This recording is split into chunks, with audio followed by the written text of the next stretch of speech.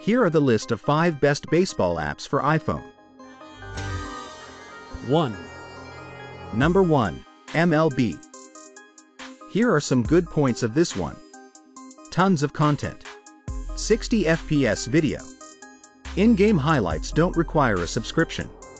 Here are some bad points of this one. Requires a subscription. Some content has blackout restrictions. Radio broadcasts require a separate subscription. You can check out the link in description box. 2. Number 2. MLB Ballpark. Here are some good points of this one. Mobile check-ins. Mobile food ordering.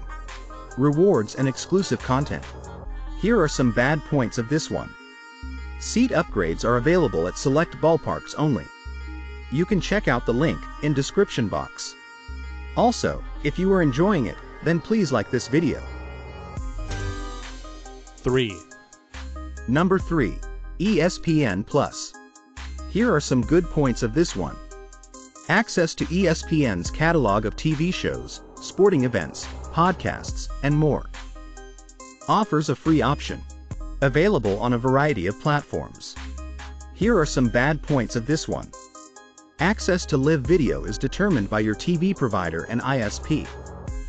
Sometimes the online schedule doesn't match the on-air schedule due to contractual limitations with certain content.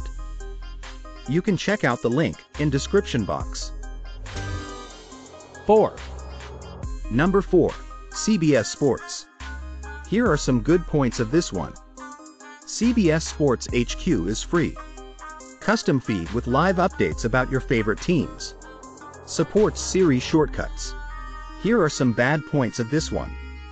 Only covers games that air on the network. Requires a TV provider login.